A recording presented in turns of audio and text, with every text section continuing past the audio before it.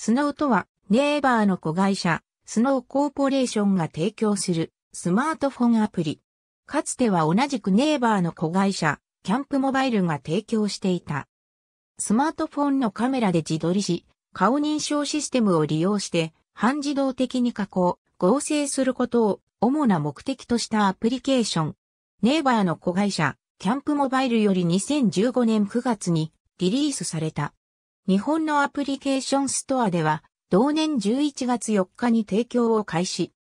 2016年8月1日にスノーコーポレーションが設立、現在は同社からアプリケーションが提供されている。同社はネイバーと LINE から出資を受けており、グループ企業ではあるもののキャンプモバイルからは独立している。中学生、高校生を中心とした若い世代の女性から特に人気を集めており、2016年5月に App Store の無料アプリケーションランキングで1位に立ったほか、ニールセンデジタルの2017年1月時点での調査によれば、408万人のユーザーのうち、半数以上の54%が34歳以下の女性であった。